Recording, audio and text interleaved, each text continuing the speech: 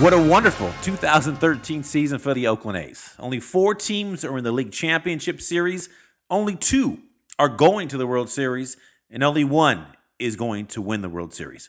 So, as we A's fans experienced on Thursday, there's going to be disappointment and frustration somewhere in that whole process. And there was a great deal of frustration last week as the A's fall in another game five in the ALDS, this time to the Tigers in the same setting as last season. The A's finished their season at 96 and 66, though. That's 30 games over 500, and they won their second consecutive AL West title. And in my 30 years of following A's baseball, as depressing each year gets when they're eliminated in the postseason, I always come back for more. Can you relate, A's fans? And I'm back for more right now. And that's why I'm giving you a fix for your A's addiction today. It is Monday, October 14th, 2013. My name is Dale Tafoya, and this is another episode of Athletics Talk Now. We're a podcast and blog that celebrates the past and embraces the future of Oakland A's baseball. This is podcast number 121. And we want to welcome you, A's fans across the globe, listening on YouTube, Facebook, iTunes, Stitcher Radio, and our website, athleticstalknow.com. On Twitter, you can reach me at, at Dale Tafoya. That's at D A L E T A F O Y A. And we'd like to welcome you to find us on Facebook. We're at A's Talk Now, and be sure to, to like our page. And on iTunes, search Athletics Talk Now for our archive of over 100 podcasts. And joining me today is one of the greatest A's catchers in franchise history. He was a three time All Star. He was the MVP of the 1988 All Star game in Cincinnati. He caught two no hitters, including Dave Stewart's on June 29th, 1990, in Toronto. And he hit a homer in his first major league at bat in late September of 1986. He spent about 14 years in the A's organization since he signed in 1983. He's the great Terry Steinbach, Terry, thanks for talking some A's history with us. Oh, you're welcome. Thanks for having me. First off, Terry, the A's, fans are still a little depressed about about about being knocked out in another Game Five in the ALDS. They're 0 5 in ALDS Game Five since 2000. Uh, you're the bench coach for the Twins. Tell me about watching the A's this season, and how could one explain being knocked out in the first round, six of the last seven postseason appearances? Uh, help us out here. well, you know, let's concentrate on this year. I mean, I'm more up to snuff on you know what happened this year and stuff, and um, you know we played Oakland late, you know, in the season, just the way our schedule was, and uh, it was really my first time to really get a good inside look at them, and uh, they got a very very nice young talented team, and you know they definitely deserved you know to to be in the playoffs. Now you know, losing to Detroit, and I know it's the first round or you know, game five of the first round again, but I mean, I don't re- really think Oakland's anything wrong. It's just that Detroit is, is is just loaded right now. I mean, with you know the pitching staff that they have, with the hitters that they have, and to watch a young Oakland team.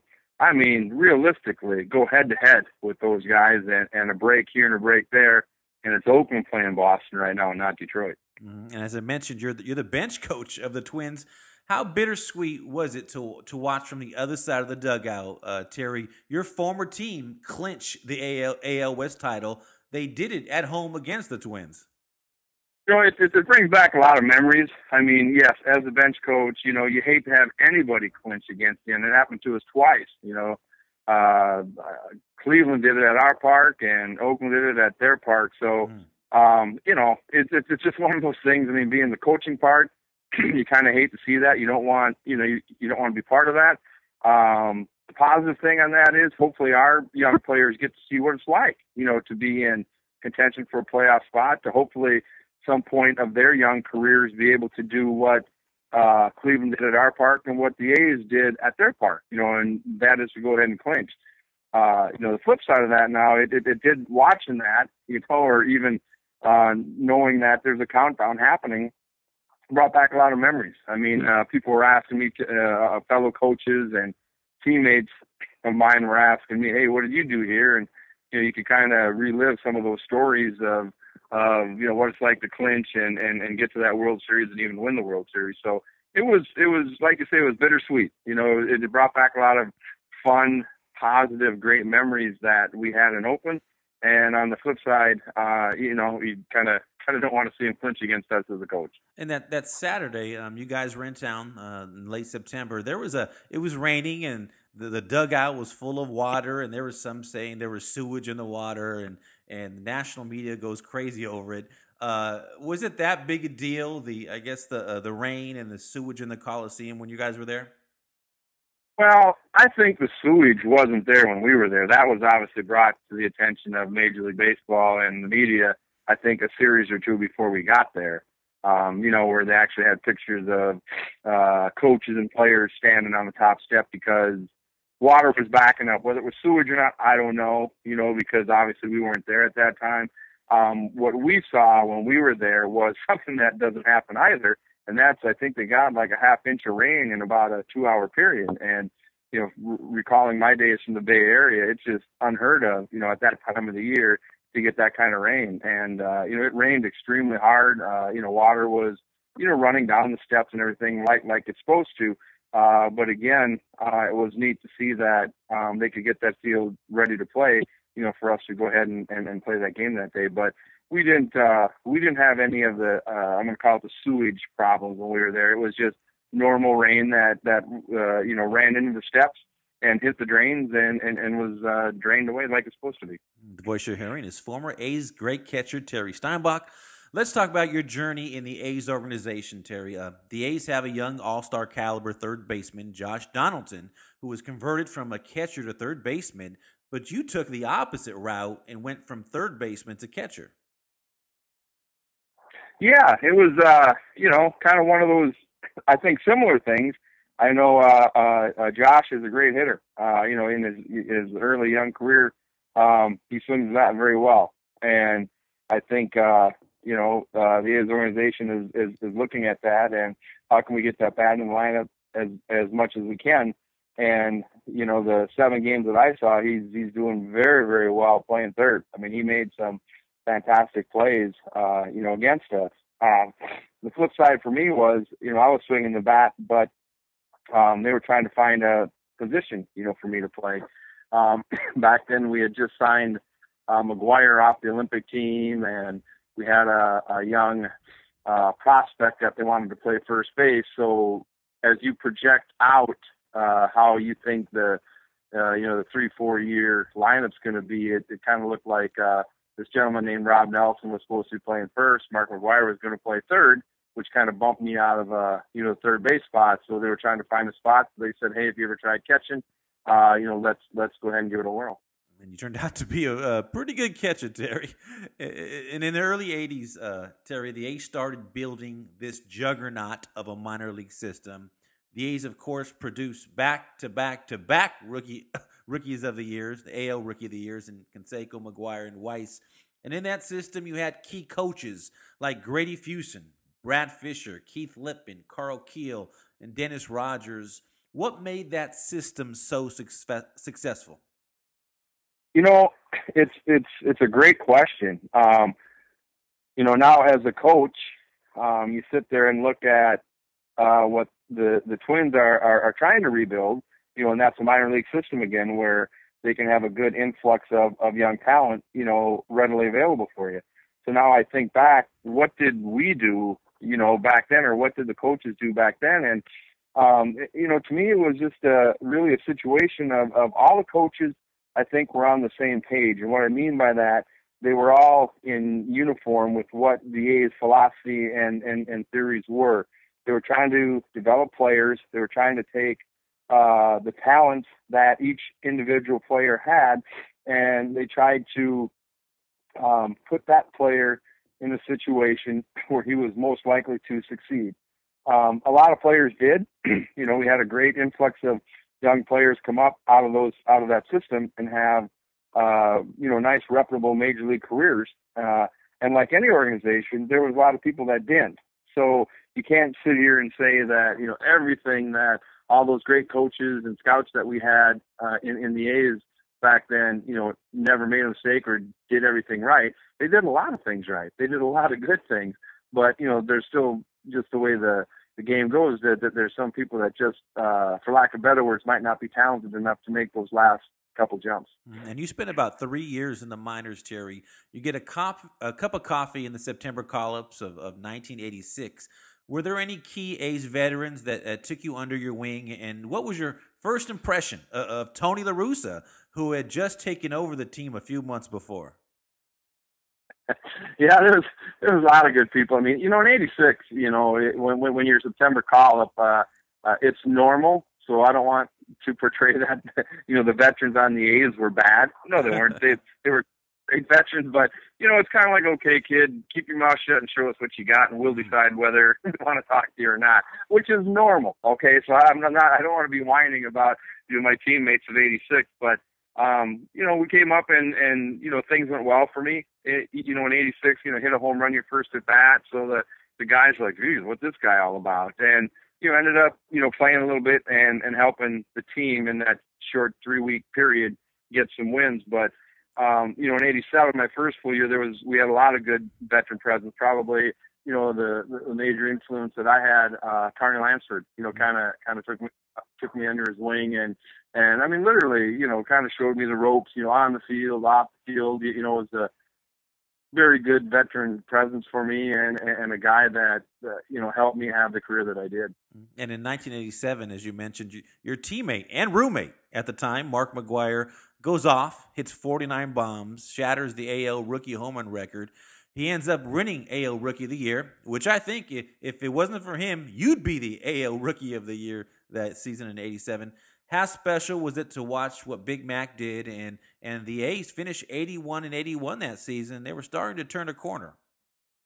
It was a lot of fun because everything was starting to tie together. Um, we as young players were getting the understanding of what a, a veteran manager, Tony La Russa, you know, was all about. Uh, you know, he kind of talked specifically uh, what young players or all players have to do to be in the big leagues, you know, and you have to care about what you do and you have to try. And he said, if you do those two things for me, you'll be here a long time. And obviously, there's there's got to be some production involved in there. But he was uh, an extremely intense, you know, manager. Um, he was hands on. Um, if it was time to get a butt chewing, you got it. If it was time to get a little pat on the back, you got that as well. Uh, he wasn't, you know, uh, afraid to talk about you know the veteran guys or to motivate the veteran guys as well as the rookies. So you know he had a extremely in, integral part of all, all, those years of success that that, that we had. Um, sitting back and, and watching you know Big Mac have the year that he did was great. Uh, you know I think as a as a rookie, I mean it, it, it, it took a lot of pressure off me. And again, not that there there was a ton, but you know I had a decent year that year, but when you hit 16 home runs and your teammate hits 49, you know, it, it's like, well, who's this guy? But right. um, it was fun because that was the beginning of, you know, the the group of young people that we had. You know, Canseco, Mac, you know, myself, uh, uh, you know, in the future, Walter Weiss coming up. Uh, having that group of young people get uh, infused with the good veteran leadership that we had, the Carney Lansfords, the Dave Stewarts, you know, the Bobby Welches, you know, a little later, the addition of Mike Moore, you know, veteran guy, Rickey joining up, Dave Henderson, major, major key player, you know, to those teams with, uh, you know, the knowledge and the advice and, you know, the uh, personality that he had. So um, the A's did, in my opinion, just a tremendous job of, you know, finding the right veteran, you know, the Don Baylors, the Dave Parkers, you know, the the right veterans that would um, help motivate, influence. I think that that good core of young talent that the A's developed and and keep everybody going in the right direction. And speaking of that veteran presence, Terry, uh, in that offseason, in the offseason of, of 1987, the A's acquired, as you mentioned, Bob Welch, Dave Parker, Don Baylor, Dave Henderson, Glenn Hubbard, uh, what did that veteran presence bring to the 88 A's, who won oh. won 104 games that season, 14 game winning streak during that season as well? Yeah, what that brought, I mean, what it brought talent. I mean, these, these guys are all talented players, all right? And and and to it, you know, it, it brought experience. You know, we got Dave Parker, Don Baylor, Bobby Welch. You know, all had postseason experience, and and uh, they're they're key impact players. Um, Glenn Hubbard, probably one of the most in- integral players that I've ever seen, and what I mean by that, from from snatching signs, you know, like a, a, a pitcher's tipping off his pitches because he's flaring his glove when he throws the breaking ball and he squeezes it when he throws the fastball. I mean, Hubby was was the, the best at that, and when you can take all those experiences that the, the, these these great veteran players had, and the key was their their their personality that they were willing to share. So here we got you know again a core of young guys um, hungry, you know, to learn the game. But now we're getting fed, you know, a, a much higher level of of uh, baseball, you know, is, is being fed to us by guys who have had success with it. So, you know, we could pick and choose from that what stuff applied to us and what didn't. But ultimately, what all these things did was try to make us, you know, individually better players. But if we were better individually, that made our team was better. And that's the thing that Tony stressed a, a, a ton was you know about winning. And if everybody's doing their job and everybody's playing up to the level or above the level they're supposed to be at, we got a good chance to win. And that's what everybody in the organization wanted from A ball or rookie ball, you know, all the way up to uh, AAA in the big. The A's were so dominant in, in those in those late '80s, those teams, and so popular. I mean, the A's shattered road attendance records during that time. They were the Yankees of that time. Uh, what was it like to you know, I'm hearing stories of you being rushed behind, you know, in back doors of hotels just to get in because there were so many, there's such a big crowd on the charter bus coming from the airport to the to a hotel on the road. No, it, it, it was, and you have to remember, for a good group of us, we were young. I mean, that that that's my second year in the big leagues. First year in the big leagues in '87, second in '88. We're like, what's this all about? you know, um, yeah, um, you are correct. Uh, uh, you know, Canseco, Mac, Hendu, Carney. I mean, these guys, Parker, these guys are, are bombing. You know, the Bash brothers was was formed. Um, the A's had that swag, and I think always will have that that that that kind of swagger. You, you know that that uh, kind of goes with I think the Charlie Finley days. You know, going going with the white shoes and you know the handlebar mustaches and all that. It, it, it it's kind of the the same thing the current A's have uh, uh have. And you know, we had that back then, and and with all that, with winning, with uh, characters, you know, on on your ball club comes, you know, people wanting to be part of you. So yeah, those those are true stories. I mean, you know, you pull up at a hotel, and I mean, there's people everywhere, and it, it might be two in the morning, you know, and, and we just want to get in and get to bed. You know, we just, we just had a game that night, and flew in or whatever. So there were instances that that we would go through the uh, for lack of better words, the loading dock of the hotel, go through the kitchen, find the service elevator, and get ourselves up, you know, up up to the room. So um, we wouldn't have a, a situation or or an incident, you know, in in the hotel lobby at two in the morning. You know, when when when you're tired and and, and want to go to bed, and and someone brought their you know six year old son who who wants you know Big Mac's autograph at two a.m. and, and, of course, Terry, the A's go on to win the world go to the World Series three years in a row from 1988 to 90, and sandwiched in between those years was 1989 when the A's swept the Giants to win the World Series. But who can forget the earthquake during that series on October 17th, 1989? There's footage where you see A's players and family members scamper on the field.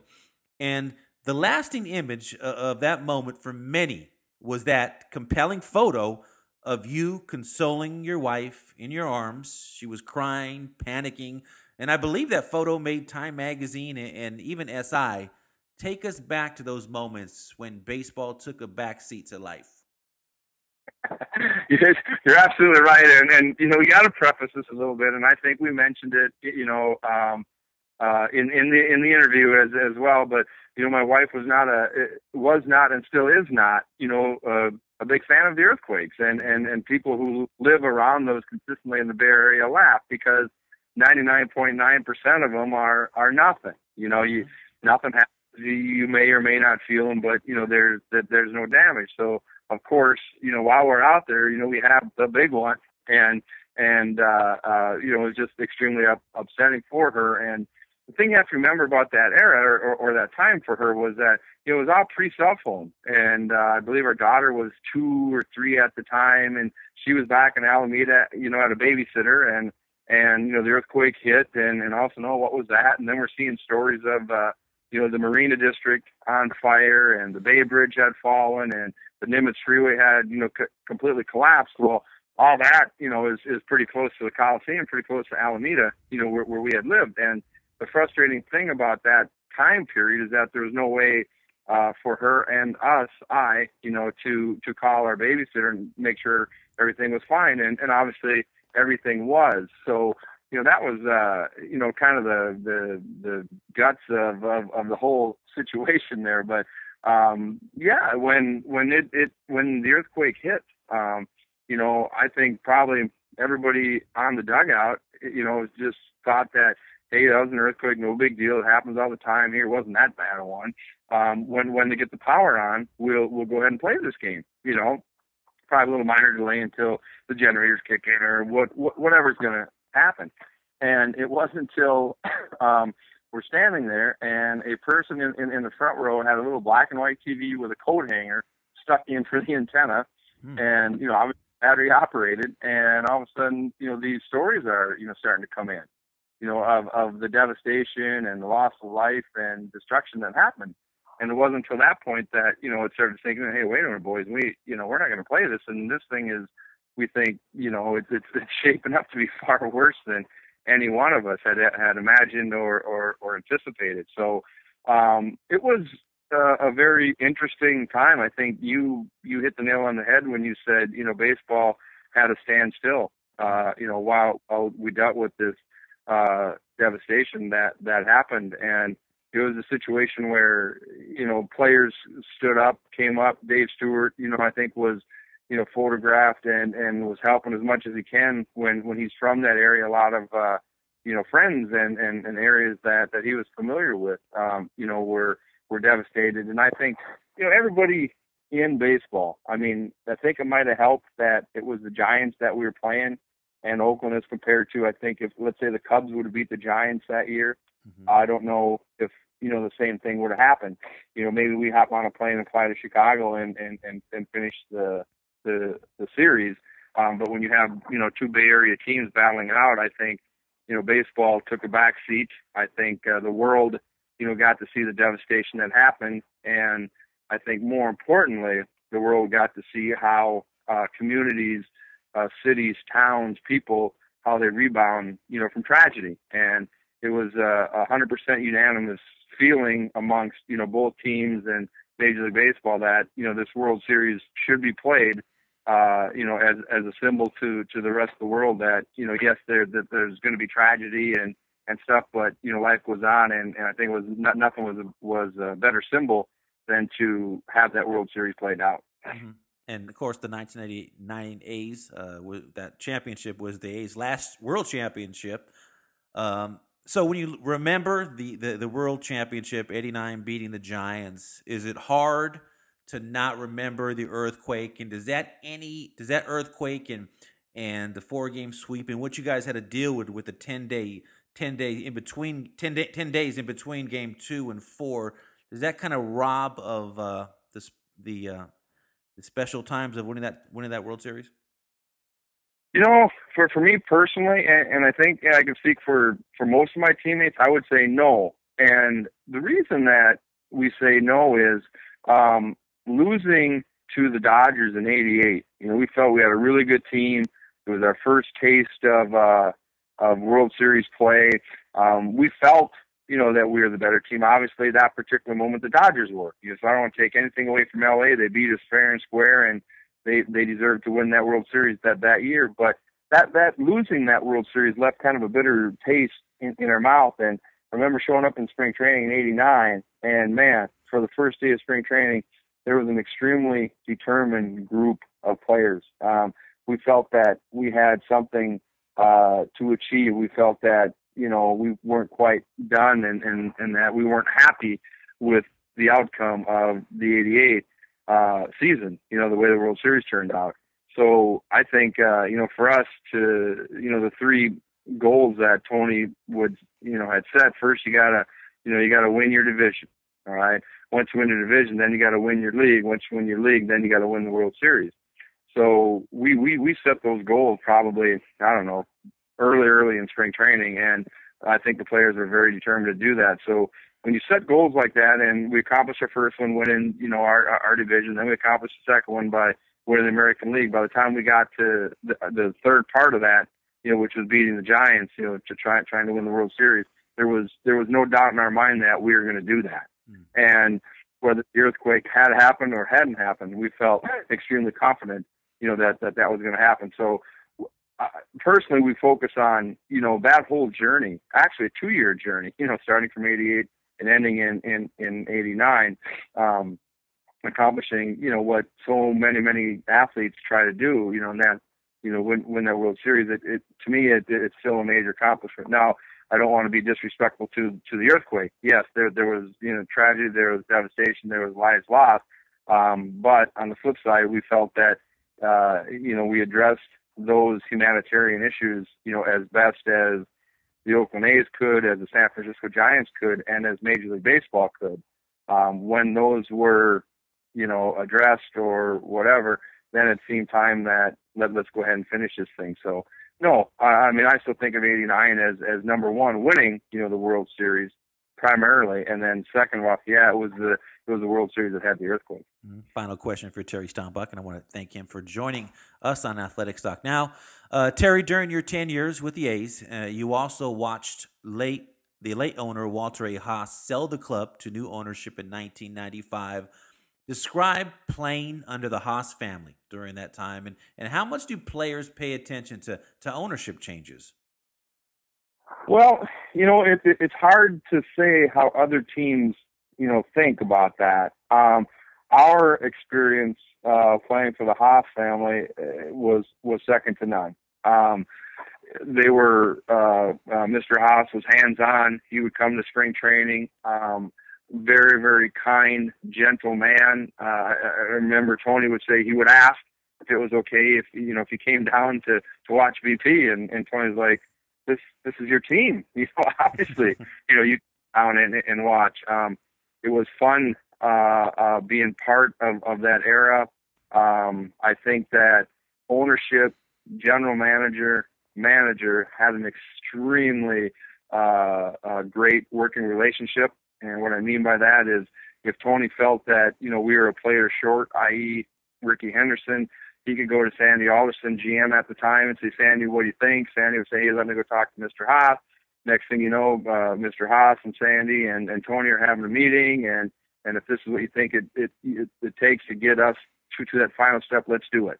And it was really a, a fun, good working relationship. And, and, you know, like anything, uh, uh, it was sad to end. I mean, I don't think there's a player on those clubs that you know um, wanted to see that era of the Haas family owning the A's end. But as you know, you see in in, in life, things things are never stay the same. So we tend to really reflect on on you know the the greatness that uh, that whole franchise, that whole organization uh, was committed to, and and you know that that commitment to you know, to to put quality players on the field and go out there and win a World Series. And it's really one of those things when you say you hear the the phrase used a ton that hey, our our our organization is like a big family. Well, we got to experience that, you know, when when we were going through through the era of, of for the most part winning, but not all the time.